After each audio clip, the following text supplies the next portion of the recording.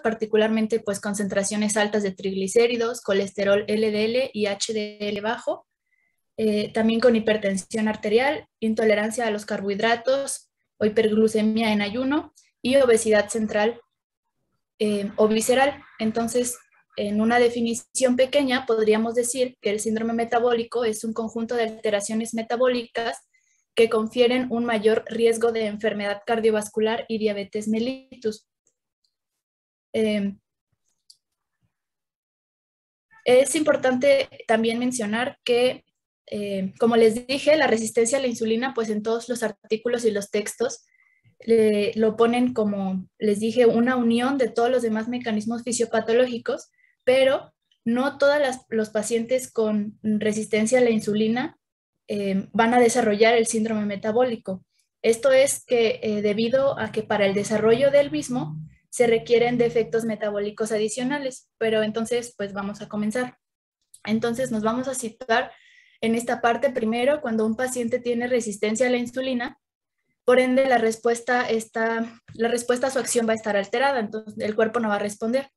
Por lo tanto, va a disminuir la capacidad de las células para utilizar la glucosa. Entonces, al no poder ingresar la glucosa a las células, no van a tener energía y la van a querer obtener de eh, los adipocitos. Entonces, eh, se va a provocar una movilización de las grasas para intentar suplir este, esta falta de sustrato energético.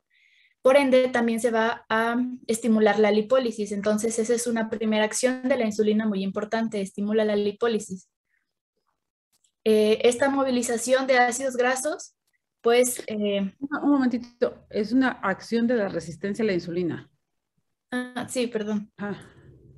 Bueno, después de eh, esta movilización de los ácidos grasos va a tener como consecuencia que los ácidos grasos se vayan a la circulación, pero pues no se van a quedar aquí permanentemente, van a pasar hacia el tejido hepático y recordemos que en el hígado eh, se va a realizar la síntesis de glucosa. Por ende, esa va a ser una de las consecuencias que tenemos aquí, el aumento de la glucosa.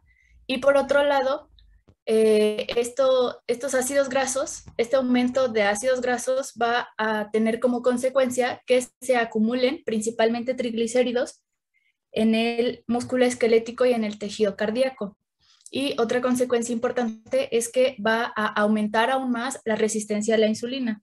Es decir, pues las células van a seguir pues, eh, van a seguir captando mal la glucosa. Entonces, ya terminando eh, este proceso, eh, tenemos pues dos como caminos, continuando acá. Si nuestro páncreas está totalmente funcional, está trabajando al 100, eh, vamos a tener un estado normoglucémico, pero va a llegar un punto en el que el páncreas ya no va a poder como continuar su trabajo ante tal descontrol metabólico, por lo que nos va a provocar hiperglucemia. Entonces aquí en este esquema se explica mejor. Tenemos hiperinsulinemia compensatoria por eh, todo el, proceso que les expliqué acá atrás de la resistencia a la insulina y aunado a eso eh, va a haber lipotoxicidad de las células.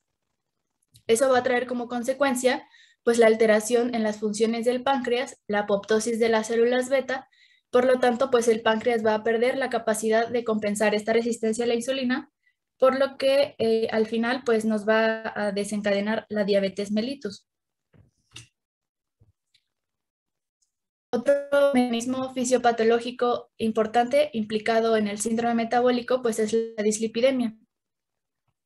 Cuando el paciente tiene dislipidemia, ya hablamos en el esquema de resistencia a la insulina que eh, va a haber flujo de ácidos grasos hacia el hígado. Por lo tanto, va a aumentar el sustrato para la síntesis de las lipoproteínas, pero pues no va a ser igual para todas. Va a haber una preferencia por aumentar la producción de los, de los ácidos grasos BLDL, que recordemos que son ricos en triglicéridos y en colesterol, así como también de eh, los LDL, que son los principales causantes de aterogénesis por lo que como consecuencia final vamos a tener hipertrigliceridemia. Entonces, ¿qué va a pasar con los otros ácidos grasos que conocemos? Pues como toda la síntesis se va a concentrar en estos dos, que pues entre comillas son malos. Eh, los ésteres de colesterol van a ser menos para formar los HDL, su estructura se va a alterar, por lo tanto, como último paso vamos a tener disminución del HDL circulante. Bueno, yo les voy a hablar propiamente de la hipertensión. en condiciones fisiológicas normales, la insulina es un vasodilator con, eh, con efectos secundarios en la reabsorción de sodio pero en presencia de la resistencia a la insulina, el efecto vasodilatador de la insulina se pierde y el efecto de absorción del sodio se conserva. Entonces, cuando hay una resistencia a la insulina, el daño en la vía específica de señalización de la fosfatoinositol 3 dentro del endotelio va a causar un desbalance entre la producción del óxido nítrico y la secreción de endotelina 1. Y esto nos va a llevar a un descenso del flujo sanguíneo mientras en el adipocito aumenta la expresión del gen del angiotensinógeno y esto por consecuencia nos va a llevar a un aumento de la angiotensina 2 circulante y por lo tanto va a haber una vasoconstricción. Y otro de los mecanismos donde también va a haber como eh, un aumento de la presión arterial va a ser la actividad vasoactiva del tejido adiposo perivascular. Esto lo que nos va a causar es la liberación de eh, especies reactivas de oxígeno que son liberadas por la NDPH oxidasa y esta también nos va a ayudar a causar vasoconstricción local. ¿Puedes dar a la siguiente, Jessica?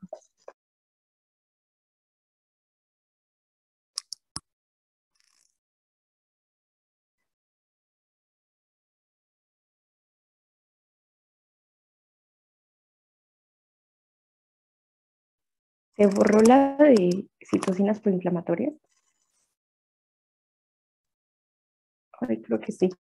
Bueno, también otra de las de otra de la fisiopatología que contribuye a esto son las situaciones proinflamatorias. Al haber una síntesis excesiva en la masa adiposa aumentada, eso nos va a conllevar a que se sinteticen citocinas proinflamatorias como la interleucina 1, la 6 y la 18, resistina, eh, factor de necrosis tumoral alfa y el marcador sistémico que es la proteína C reactiva. Este va a ser una fuente local eh, que es propiamente de los macrófagos, y en la circulación sistémica. Entonces, todavía no se tiene como la relación clara entre lo que es la magnitud de la resistencia a la insulina y cómo esto eh, afecta a nivel paracrino, pero se tiene en cuenta que esto también contribuye. En este caso, ahora se puede dar a la siguiente, por favor.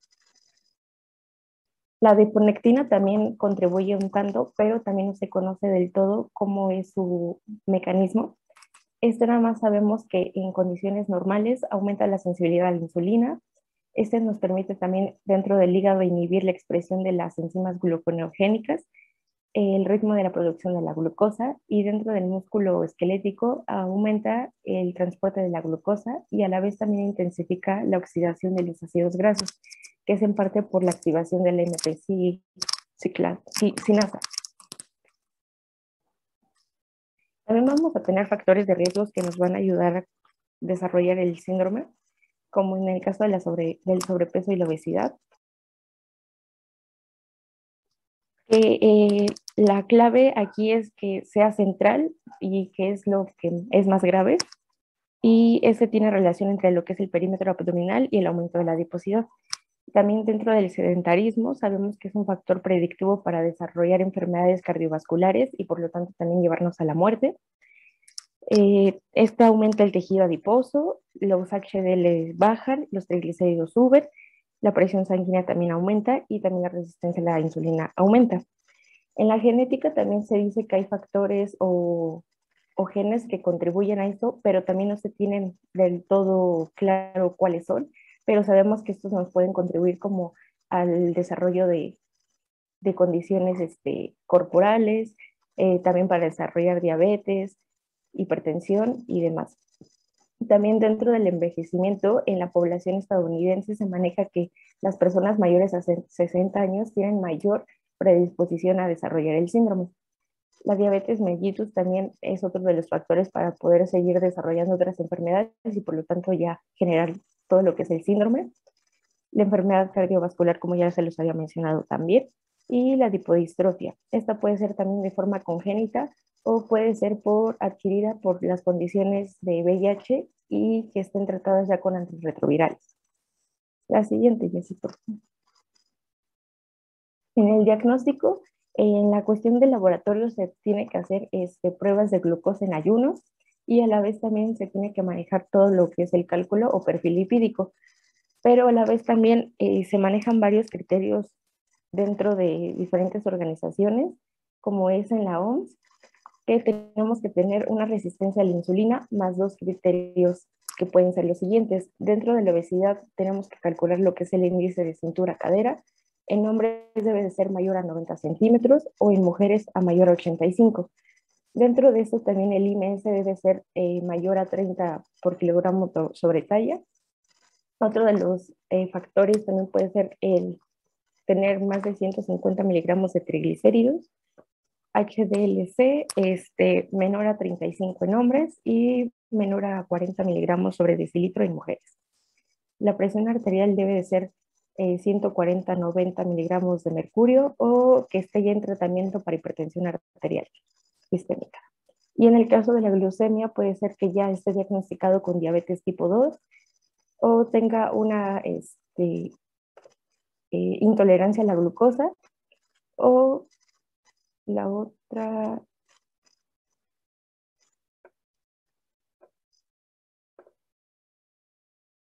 es que se haya este, el cálculo de la glucemia en ayuno alterada. Otro de los criterios que también o de las asociaciones que nos van a ayudar manejar un diagnóstico es la ATP3. Esta debe de manejar tres criterios y nuevamente se repiten todos, pero ya cambian un poquito aquí los valores. En el caso de la circunferencia cintura, los hombres deben de ser de 102 centímetros y mujeres de 88 centímetros. Los triglicéridos se mantienen en que sean mayores a 150 miligramos sobre decilitro. Los HDL deben ser igual eh, menores a 40 miligramos y en el caso de las mujeres menores a 50. La presión arterial se mantiene lo que es mayor a 130 sobre 85 miligramos de mercurio, milímetros, perdón, o igual que ya está en tratamiento para hipertensión arterial. Y la glucemia en ayuno debe de ser de 100 a 125 miligramos sobre decilitro. Mientras que la Asociación Internacional de Diabetes, eh, esta maneja dos criterios, ya para ser considerado como síndrome metabólico. La obesidad debe de ser específico de cada región los triglicéridos igual deben de ser de 150 miligramos sobre decilitro o que ya está en tratamiento para hipertrigliceridemia. En el caso de los HDL, deben de ser menores a 40 miligramos sobre decilitro en hombres o menores a 50 miligramos sobre decilitro en mujeres o que ya está en tratamiento para el HDL en condiciones bajas. La presión arterial debe de ser 130 eh, sobre 85 miligramos sobre mercurio o igual que ya está en tratamiento y en el caso de la glucemia, que sea mayores a 100 miligramos sobre mercurio, sobre decilitro, perdón, o que haya ya un diagnóstico como tal de, de diabetes mellitus tipo 2. Aquí acuérdense, bueno, parece increíble, pero las preguntas, muchos, varios exámenes siempre traen los valores. Entonces, este, en el ENAM y etc, etc, los exámenes que les encanta ponerles que este, el índice de cintura cadera según la OMS debe ser mayor a que el perímetro abdominal según la IDF para la región de Latinoamérica es tal, o el nivel de presión arterial según la IDF es tal. Entonces es increíble, pero pues como andan buscando qué preguntar y luego no, no, no, no, no encuentran, pues es lo que preguntan. Entonces yo recomiendo que le echen un vistazo antes de los exámenes que vayan a presentar de este tema o del ENARM para que les quede fresco en la memoria, porque sí siguen preguntando los valores. Nada más, pueden continuar.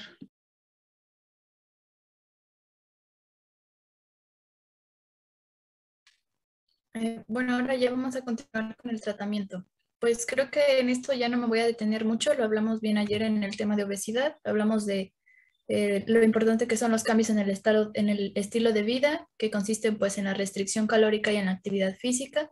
También hablamos de en qué condiciones pues eh, le podemos pedir al paciente que realice ciertos ejercicios y en qué eh, se basa pues una buena dieta.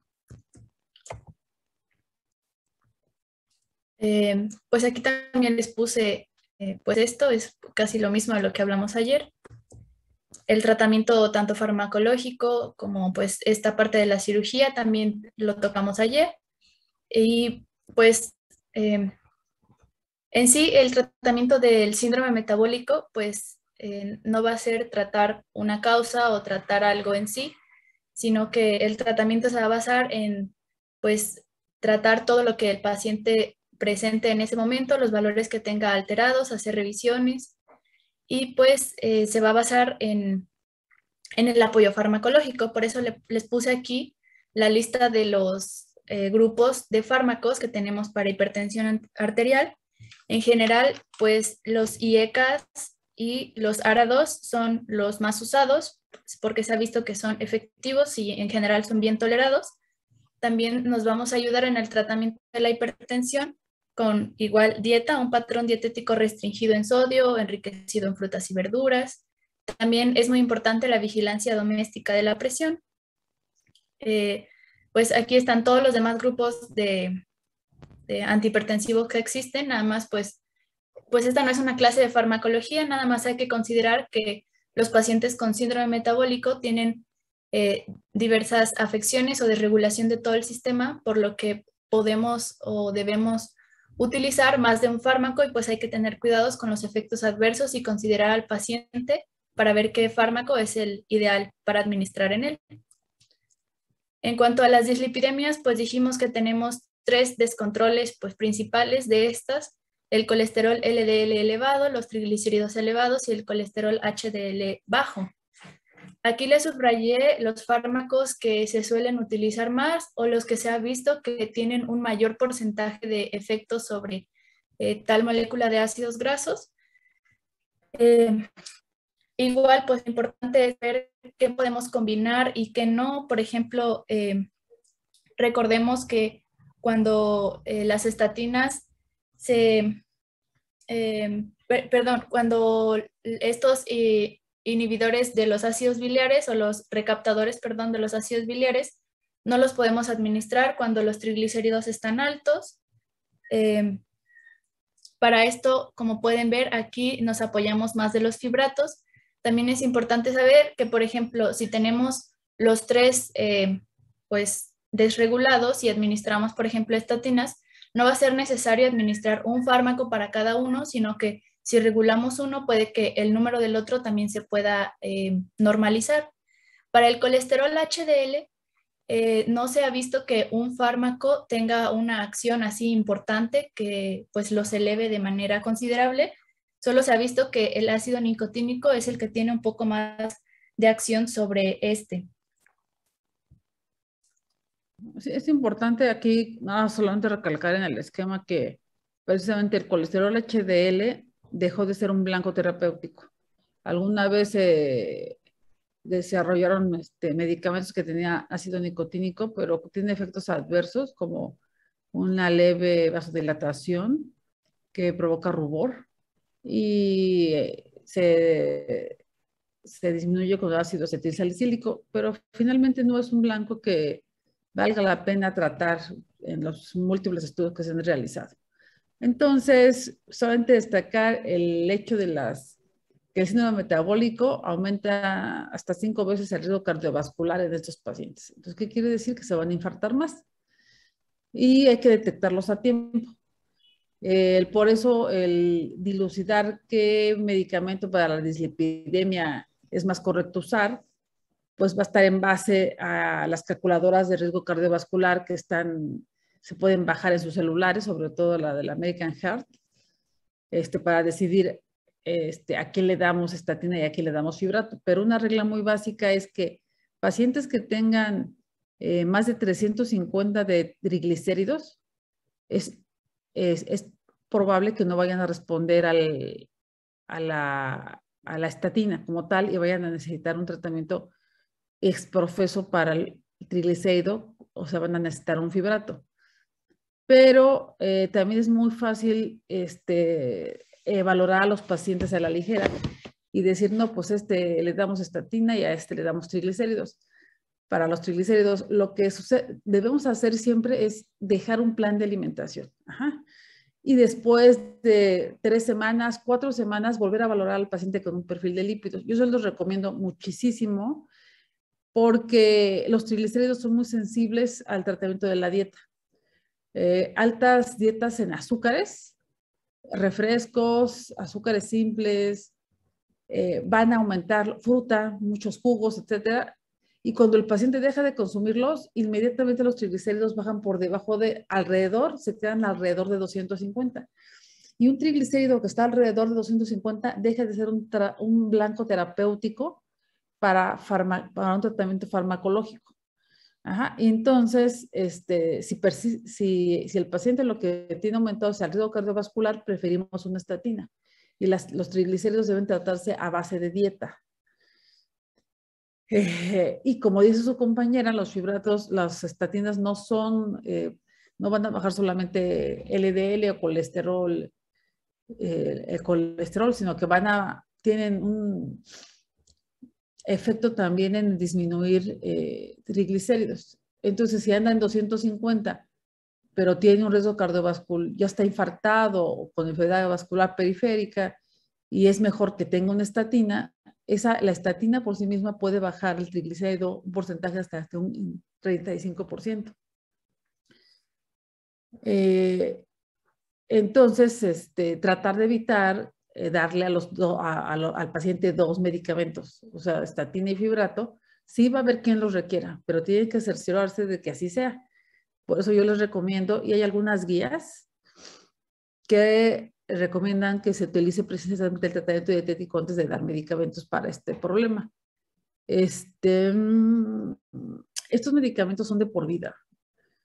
Son medicamentos que por eso se tiene que, no, no, o sea, no son unas anginas que se vayan a curar con siete días de tratamiento, ni que le vayan a dar un mes el medicamento y se va a curar del colesterol alto. Eh, los pacientes eh, deben de quedarse con la, precisamente la estatina es para evitar la formación de la placa de ateroma y que esta placa se permanezca estable y que no haya desprendimientos y no vaya a causar émbolos. Entonces, una vez que el, paciente se hace candidato a este tipo de medicamentos, hay que, hay que son de por vida. Este, tenemos pacientes que llegan a la consulta con más de 350 llegan con 500, llegan con 1000, llegan con 2000 de triglicéridos. Son pacientes que no les vamos a, que tienen que tener una dieta, pero que ya con más de 500 no les vamos a poder quitar el fibrato. Y si además tienen riesgo cardiovascular elevado, se les va a tener que agregar una estatina. Y son medicamentos de por vida, precisamente porque este, lo que buscamos es un beneficio a largo plazo. En el caso de las estatinas, disminuir la placa de ateroma y en el caso de los fibratos, este, disminuir la, el riesgo de pancreatitis, sobre todo cuando son más de mil. Pues nada más. ¿Hay alguna otra diapositiva que vayan a mostrar? Pues ya la última de la glucosa. Este, cuando nos encontramos con una glucosa en ayuno elevada sin todavía el diagnóstico de diabetes, pues nuestra medida inicial sería indicar al paciente modificaciones para el estilo de vida y se ha visto que el uso de metformina puede ayudar a retrasar o prevenir el inicio de, la diabetes mellitus. Sin embargo, pues hay que recordar que eh, la metformina no es precisamente una medida de prevención, sino que nuestro trabajo es identificar personas que tengan eh, factores de riesgo o pacientes que pues puedan ser beneficiados con el medicamento porque pues Recordemos que cualquier medicamento puede traer efectos adversos y si el paciente se controla con solo las modificaciones del, del estilo de vida, pues sería lo ideal, pero si no, pues eh, el uso de metformina más la dieta más el ejercicio, eh, se ha visto que tiene hasta un 35% de disminuir el riesgo de padecer esta enfermedad. Y pues ya cuando tenemos o cuando iniciamos con resistencia a la insulina, estos son los fármacos con los que vamos a iniciar. Aquí en esta imagen les pongo pues todos los grupos de fármacos que existen para la diabetes, pero igual no me voy a detener mucho porque vamos a tener una clase de esto. Eh, solamente decir que estos dos primeros fármacos son importantes porque en, esta patología nos van a ayudar a incrementar, perdón, la metformina y las tiazolindinedionas nos van a ayudar a incrementar la sensibilidad a la insulina. Eh, también eh, suprimen la producción endógena de glucosa que vimos en el esquema de resistencia a la insulina. Y este último grupo de fármacos eh, también nos van a ayudar a mejorar la captación de glucosa en el músculo y en el tejido adiposo. Entonces, estas van a ser sus acciones importantes que pues que tienen que ver con la fisiopatología que acabamos de ver. Y pues creo que sería todo. Eh, como conclusión, recuerden que el objetivo de, ver esto es la importancia que tiene la prevención primaria en estas patologías, eh, eliminar pues la frecuencia, la prevalencia de esta enfermedad, pues poniendo énfasis primero o haciendo pues una campaña con los pacientes de la importancia que tiene la reducción de peso, porque ayer vimos que hasta una discreta reducción de peso y las prácticas cotidianas de ejercicio pues son herramientas indispensables para que el paciente tenga una buena calidad de vida y no desarrolle estas enfermedades, porque vimos que pues en este punto son muchas juntas y pues es muy difícil cuando ya hay un descontrol metabólico importante. Muy bien, pues nada más comentarles que eh, la metformina eh, se ha visto que puede ser, hay estudios que ya han reportado a quién darle metformina, eh, sobre todo el estado de glucosa en ayuna normal. Estoy hablando en glucosas de 101 a 125 o por uh, un estado de prediabetes por curvas de tolerancia oral a la glucosa eh, ya se ha comparado, ya, se ha comparado este, si a grupos placebo control, grupo placebo contra grupo tratado, en el cual se les da uno, se les da pura dieta y ejercicio y otros se les da metformina. Son todos prediabéticos y estos estudios de seguimiento muy estricto en el cual hay entrenadores, nutriólogos y el paciente prácticamente lo andan persiguiendo para que siga la dieta, se vio que el tratamiento nutricional y de cambio en el estilo de vida es superior para prevenir diabetes que la metformina. Sin embargo, nosotros no vivimos en un estudio clínico, clínico placebo controlado. En la vida real es muy difícil que los pacientes se apeguen a un estilo de vida. Entonces, eh, pues no está mal tampoco que le den a los pacientes con glucosa en ayuno normal o prediabéticos, eh, se les pueda dar metformina y se les da dosis de 850 miligramos cada 12 horas y esto puede ayudar a retrasar la presencia de diabetes. Este, otra mención aparte eh, son los pacientes obesos que se les diagnostica resistencia a la insulina, pero ese es un diagnóstico diferente porque se tiene que pedir una glucosa en ayuno y una insulina en ayuno y se saca un índice HOMA y si sale más de 2.5, aún de que no tengan glucosa elevada, pero tengan un índice HOMA elevado que marque resistencia a la insulina, pues también a algunos obesos se les puede dar metformina para, por la resistencia a la insulina que tienen. Entonces, hay que pues, ser cuidadosos al, al, a los pacientes. El uso de la metformina no es para todos. Si sí hay indicaciones muy claras, prediabéticos, obesos eh, y, pacientes con eh, resistencia a la insulina este, ya diagnosticada. Ahorita les paso en una diapositiva cómo se saca el índice HOMA para que lo tengan por ahí. Y pues me pareció que su eh, intervención en la, con su exposición estuvo adecuada. Realmente no es un tema a la que podamos este, sacarle mucho jugo, solamente que se hubieran bajado a nivel molecular. Esto sí hubiera estado más interesante para enriquecerlo, pero hubieran tenido que revisar otros textos y realmente está fuera de la, del programa de la UNAM. Entonces los voy a dejar con calificación de 9 y este, porque pues el tema no, no, no nos daba para, para mucho. Y eh, nos vemos el lunes a las 8 de la noche para continuar con el siguiente tema. No sé si tengan alguna pregunta. No, gracias. y, traten de revisar los artículos que les mandé. Y nada más, si ya sé que, somos, que son 27 alumnos y hay alguien que se salió. ¿Quién fue el que se salió? ¿Jefes de grupo? O sea, ¿le cortó la comunicación o qué habrá pasado? No creo. No, este, no, doctora, yo creo que luego el internet falla más en estas épocas de, lluvia. Bueno, por mi casa está lloviendo, pero durante la práctica estuvimos todos. No, como desde la mitad se salió está, alguien. Están 26 desde más de la mitad de la plática. Es que Jenny tiene problemas de internet, doctora. Nos mm. empezó a mandar fotos de que nada más aparecía conectando. Bueno, está bien. Entonces, este, coméntenle que sí me di cuenta. Y pues nos vemos el lunes. A ver si podemos comentar algo de los artículos que les, que les mandé, que la verdad sean súper fáciles. Eh, con el de la obesidad, con que lean el resumen, no tienen que leer todo el artículo, por favor traduzcan el resumen y vean las gráficas y con eso. Muy bien, pues me despido, que tengan un bonito día. Eh, sigo a sus órdenes para cualquier situación. No sé si ya empezaron con Derma. Ya, doctora, ya doctora. Ajá, ¿y con cuál otro iban a, íbamos a empezar con lo pato, derma y endocrino, ¿no? ¿Y ya están? Y genética. Y genética. Bueno, muy bien. Pues entonces sigo a sus órdenes, me dio mucho gusto saludarlos. Que pasen un buen día y por favor no dejen de seguir leyendo, ¿sale? Muchas gracias, doctora. Que tenga buen día. Gracias. Gracias. Gracias. doctora. Gracias, doctora.